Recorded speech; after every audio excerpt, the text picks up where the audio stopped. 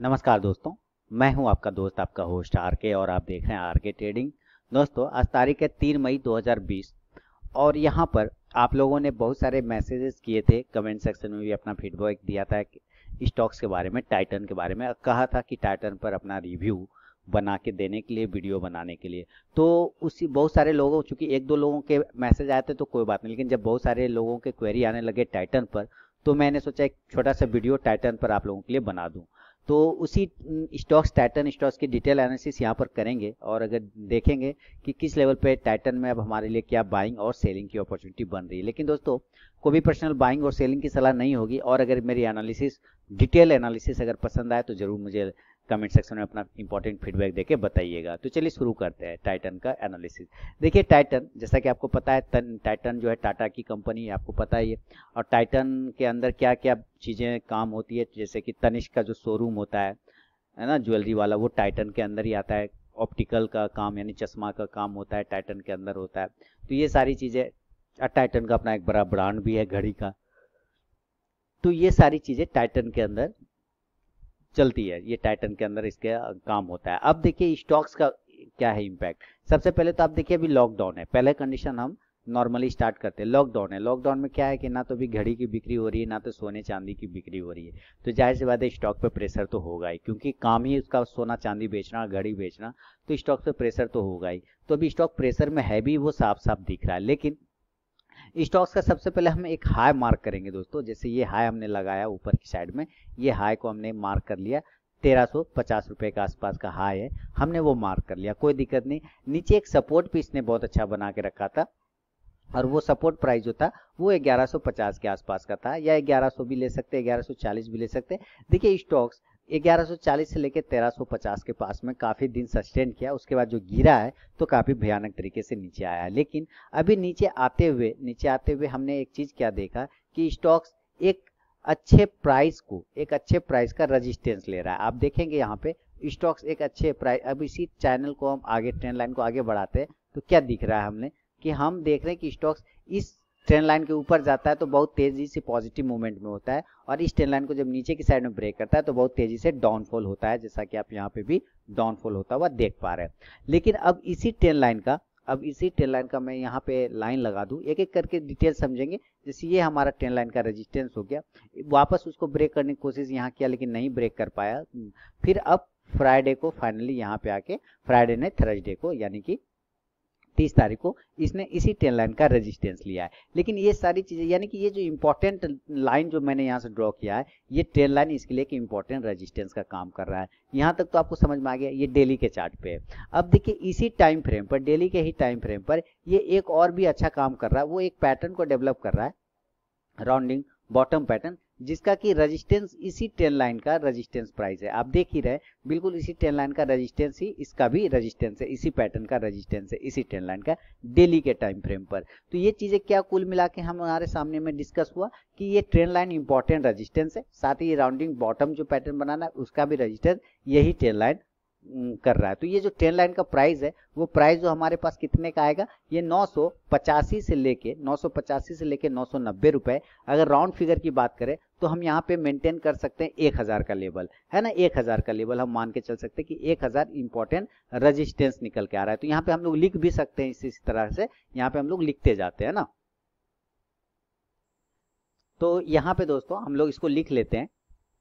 कुल मिला के क्या लिखेंगे? जो रजिस्टेंस प्राइस आ रहा है तो यहाँ पे साइड में एक छोटा सा बॉक्स बनाता हूँ, यहाँ पे लिख लेते हैं, ये रजिस्टेंस आर मतलब रजिस्टेंस रजिस्टेंस कितने का आ रहा है? राउंड फिगर की बात कर लें तो नौ सौ पचासी रुपए से लेके एक हज़ार रुपए तक का एक रजिस्टेंस प्राइस है। ये एक हमें क्लियर कट यहाँ पे दिख गया, कोई दिक्कत वाली बात नहीं है। और किस टाइम फ्रेम पर दिखा है दोस्तों?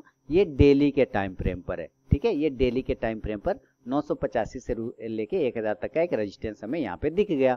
अब हम सिर्फ़ डेली के बेस पे तो नहीं कर सकते, हम वीकली के चार्ट पे भी चले जाएँगे। वीकली के चार्ट पे, अभी अभी मैं बाय और सेल लेवल का भी बताऊँगा कैसे हमें कहाँ पे पोजिशन बनाने को सोचना होगा, नहीं, या इग्नोर करके चलना होगा। तो ये हमारे एक लेवल आ गया। अब देखिए हम इसका जरा वीकली का टाइम फ्रेम देखते हैं। तो वीकली का टाइम फ्रेम पे हम क्या पा रहे हैं? हम वीकली के टाइम फ्रेम पे जैसे ही ड्रॉ कर रहे हैं तो पता चल रहा है कि वीकली में भी सेम यही एक हज़ार का जो इंपॉर्टेंट रेजिस्टेंस है, वही है। आप देखिए, यहाँ पे भी पहले भी इसने एक राउंडिंग बॉटम पैटर्न बनाया था। यहाँ पे आप देख रहे हैं, इसके दोनों लेवल इसने एक हज़ार के ही बार बार टच किया, पहली बार टच किया, गिर गया, दूसरी बार ब्रेक करके ऊपर गया। तो एक हज़ार का इंपॉर्टेंट वीकली के टाइम फ्रेम पे भी क्या आ रहा है? अब वीकली के टाइम फ्रेम पे रेजिस्टेंस क्या बन गया? वीकली के टाइम फ्रेम पे रेजिस्टेंस एक हज़ार का बन गया, ठीक है? वन हज़ार प्राइस का रेजिस्टेंस बन गया। और इस वन हज़ार से लेके कितने तक का? आप यहाँ पे देखिए, इस इस कैंडल इस कैंडल अगर मैं यहाँ से लाइन ड्रॉ कर दूँ, ऐसे करके, ऐसे ड्रॉ कर दूँ आगे तो आप क्या पाएँगे कि यहाँ पे स्टॉक काफ़ी दिन सस्टेन किया था। क्या किया था? सस्टेन किया था, एक रेंज बनाया। देखिए बनाया ना एक रेंज मैं इसको बॉक्स कर दूँ तो फिर आप लोगों को समझ में आ जाएगा। दोस्तों, वीडियो पसंद आए तो ज़रूर अपना इंपॉर्टेंट फीडबैक देकर मुझे अनुग्रहित करें हौसला अफजाई करें। तो यहाँ पे एक बॉक्स बनाया था, कम से कम दस दिनों का एक बॉक्स बनाया था इस प्राइस के ऊपर। तो ये प्राइस का जो लोअर लेवल है, वो कितने का आ रहा है? एक हज़ार पचास का आ रहा है। तो अब यहाँ एक हज़ार से लेके एक हज़ार पचास वीकली के टाइम फ्रेम पे क्या बोल रहा है कि एक हज़ार से लेके एक हज़ार पचास का रेजिस्टेंस लेवल हो गया। अब देखिए यहाँ पे ध्यान से समझिए डेली के टाइम फ्रेम पे नौ सौ पचासी से लेके एक हज़ार का और वीकली के टाइम फ्रेम पर एक हज़ार से लेके एक हज़ार पचास का रेजिस्टेंस हो गया। ये हो गया दो चीज़। अब एक हज़ार पचास का रेजिस्टेंस तो हो गया तो ऊपर वाला ये लेवल आप ध्यान से देखिए, जहाँ स्टॉक दस दिन सस्टेन किया था तो ऊपर वाले लेवल को जो आप ध्यान से देखेंगे तो प्राइस कितने का आ रहा है? ग्यारह सौ का आ रहा है। आप देखिए, ग्यारह सौ पच्चीस या ग्यारह सौ तीस। तो हम ये मानते हैं कि बॉक्स जब ये बनाया था बॉक्स बनाया था नीचे एक हज़ार पचास से लेके ग्यारह सौ तीस तक का एक बॉक्स बनाया था। वीकली के टाइम फ्रेम पर क्या बनाया था? ग्यारह सौ एक हज़ार पचास से लेके ग्यारह सौ तीस का। नीचे वाला लेवल ग्यारह नीचे वाला लेवल एक हज़ार पचास, ऊपर वाला लेवल ग्यारह सौ तीस। तो एक एक हज़ार पचास से लेके एक हज़ार तीस का एक रेंज बना लिया था वीकली के टाइम फ्रेम पर। यही तो कह सकते हैं हम लोग। तो ये हमने रेंज नोट कर लिया। चलो भाई, ये हमारा रेंज हो गया। अब हम बात करते हैं कि अगर हमें इस स्टॉक्स में पोजीशन बनाना होगा या हमें ट्रेड करना होगा तो कैसे करेंगे? अभी हमने डेली को देखा वीकली को देखा तो एक चीज़ हम क्यों छोड़ेंगे? मंथली हम मंथली पे शिफ्ट हो जाएँगे। जब हम मंथली पे शिफ्ट होते हैं, जब हम मंथली पे शिफ्ट होते हैं तो मैं इसको पहले ठीक कर लूँ। ये लाइन हटा देता हूँ मैं यहाँ से। तो जब हम मंथली पे शिफ्ट होते हैं तो मंथली पे हम क्या पा रहे हैं? मंथली पे हम बड़े टाइम फ्रेम पे चले जा रहे हैं, क्योंकि स्टॉक की हमें एनालिसिस डिटेल करना है ना, लंबे समय के लिए करना है तो हम मंथली तक के चार्ट को भी देख सकते हैं। अब मंथली चार्ट पे क्या बता रहा है कि ऊपर के लेवल पे भी मंथली का एक हज़ार का रजिस्टेंस है। आप देख रहे हैं ना, एक हज़ार को जैसे ये ब्रेक करता है, एक हज़ार को जैसे ही ये ब्रेक करता है ऊपर की साइड में तो कैसे? देखिए, पहली बार ब्रेक नहीं कर पाया, नीचे आ गया, लेकिन अगली बार ब्रेक किया तो कैसे? तूफानी रफ्तार ऊपर गया ना? अब देखिए, उसी लेवल पे यहाँ पे और उसी लेवल पे यहाँ पे वो क्या कर रहा है? एक हज़ार के लेवल पे रजिस्टेंस ले रहा है, ठीक है? ये समझ में आ गया आपको कि एक हज़ार राउंड नंबर जो इसका एक हज़ार है, वो एक इंपॉर्टेंट रजिस्टेंस है हर टाइम फ्रेम पर डेली पे भी वीकली पे भी और मंथली पे भी। हमारा एक हज़ार का एक इंपॉर्टेंट रेजिस्टेंस है। ये क्लियर हो गया। तो अगर हमें पोजीशन बनाना होगा सेफ़ पोजीशन देखिए, जो फास्ट मूवमेंट वाले आदमी है, उनका तो मैं कुछ नहीं कर सकता। लेकिन जो लंबे समय के प्लेयर हैं, जो लॉन्ग टर्म में प्ले करना चाहते हैं तो उनके लिए ये वीडियो होगा। उम्मीद करता हूँ काफ़ी यूजफुल वीडियो होगा। कि अगर हमें बाय साइड का पोजीशन बनाना हो, अगर हमें बाय साइड का पोजीशन बनाएँगे तो हम लोग बाय साइड का पोजीशन बनाएँगे दोस्तों कब? एक हज़ार के ऊपर। कब बनाएँगे बाय साइड का पोजीशन एक हज़ार के ऊपर। क्योंकि तब हम ये पाएँगे कि ये तीनों ही टाइम फ्रेम डेली वीकली और मंथली तीनों ही टाइम फ्रेम के ऊपर स्टॉक क्लोज कर गया। और ऐसा नहीं कि टच कर गया और वाह वाह, खुशी से हम लोग कूद गए पोजीशन में। ऐसा गलती कभी नहीं करना। हमें इसको क्लोजिंग का वेट करना है। टाइम फ्रेम इस तीनों टाइम फ्रेम के ऊपर, एक हज़ार के ऊपर, अगर एक हज़ार के ऊपर ये क्लोज कर रहा है तो इसका मतलब ऑटोमेटिक है कि ये डेली पे भी क्लोज कर गया वीकली पे भी क्लोज कर गया मंथली पे भी क्लोज कर गया। तो ये एक हज़ार के ऊपर अगर ये क्लोज करता है ना तो हमारा बाय का लेवल एक्टिवेट हो जाएगा। तो हम बाय पोजिशन कहाँ कर सकते हैं? एक हज़ार के ऊपर वन थाउज़ेंड के ऊपर क्लोजिंग बेसिस पे। एक चीज़ समझ में आ गया? लेकिन अभी चूँकि मार्केट है, हम दोनों साइड को प्ले करना चाहेंगे। कि अगर ऊपर के जाएगा तो हम बाय साइड में बैठेंगे, नीचे को आएगा तो सेल साइड बैठेंगे। तो एक हज़ार का लेवल मान लेता हूँ कि नहीं जाता है, एक हज़ार का लेवल इतना तो क्लियर हो गया ना कि एक हज़ार का पोजिशन ऊपर में बनाएँगे। और अगर एक हज़ार का पोजिशन हम ऊपर में बनाएँगे तो इस कंडीशन में मैं पहले यहाँ पे मेंटेन कर देता हूँ इस प्राइस को। वापस यहाँ हटा देता हूँ इसको। तो एक हज़ार के ऊपर हमने पोजीशन बना लिया। चलिए, एक हज़ार के ऊपर पोजीशन बनाया तो टारगेट हमारा क्या होगा? टारगेट क्या होगा हमारा? टारगेट होगा ग्यारह सौ तीस रुपए का, ठीक है? टारगेट हमारा कितना होगा? ग्यारह सौ तीस रुपए का, क्योंकि वो रेंज बना के रखा था, याद किया होगा आप लोगों ने, ठीक है? तो 1000 के ऊपर अगर क्लोज करेगा तो 1130 तक का एक टारगेट हम लोग ले सकते हैं, और इस कंडीशन में हमारा जो स्टॉप लॉस होगा, वो स्टॉप लॉस कहीं ना कहीं 980 के आसपास में 970 के आसपास में हमारा हो सकता है। यानी स्टॉप लॉस कितना होगा? हम 970 तक का लेके चल सकते हैं यहाँ। तो 30 पॉइंट का 40 पॉइंट का हम स्टॉप लॉस ले सकते हैं। स्टॉप लॉस ऊपर नीचे थोड़ा मेंटेन किया जा सकता है, उसमें कोई दिक्कत नहीं, क्योंकि रेंज बड़ा है ना। टारगेट का रेंज बड़ा है तो हम 10-20 पॉइंट ऊपर नीचे कर सकते हैं स्टॉप लॉस का। तो 970 960 का स्टॉप लॉस लगा के 1130 के लिए टारगेट का वेट करेंगे। लेकिन कब? जब वो एक हज़ार के ऊपर क्लोज करेगा। क्लोज जब वो एक हज़ार के ऊपर करेगा, तब उसके पहले नहीं।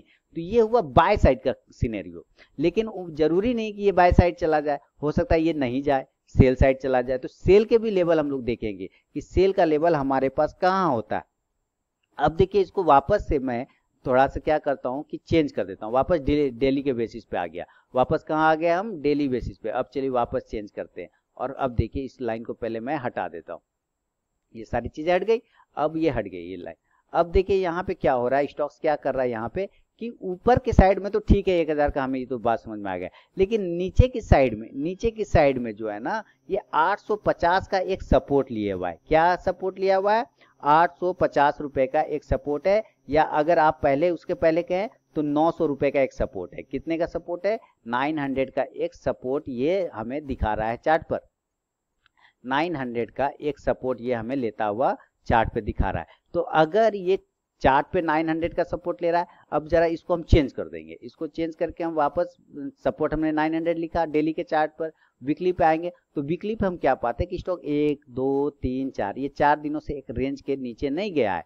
आप देखिए, नहीं गया नहीं गया। यानी ये ये प्राइस इंपॉर्टेंट ये प्राइस भी क्या मैच कर रहा है? 900 मैच कर गया तो 900 इंपॉर्टेंट सपोर्ट हो गया। तो अगर हम सेल का, अब मान लेते हैं किसी का सपोर्ट टूटता है तो डाउनफॉल तो होता है, ये तो आपको पता ही है सपोर्ट रेजिस्टेंस आप लोग जानते हैं सपोर्ट टूटेगा तो डाउनफॉल तो होगा ही। तो हम बाय साइड का जैसे लेवल बताया कि ग्यारह सौ एक हज़ार के ऊपर क्लोजिंग बेसिस पे बाय साइड में जाएँगे और सेल साइड में हम जाएँगे कब?